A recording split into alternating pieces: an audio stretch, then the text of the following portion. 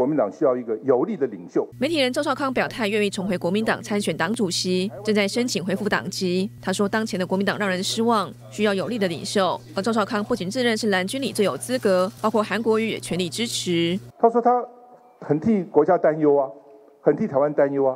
那看来看去，他认为他认为只有我能够救国民党，这是韩国瑜讲法啊。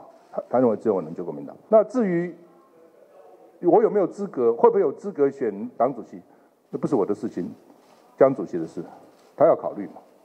有资格就选，没有资格就不选嘛。把球抛给国民党中央，因为赵少康要参选党主席，除了不符合一年党龄条件，也没担任过中评委等党职。虽然参选资格有疑虑，前高雄市长韩国瑜仍强力支持，除了脸书发文，也向江启臣要求解决赵少康的参选限制。想要支持国民党的人，甚至愿意加入国民党的人，或者重新回到国民党的这些朋友。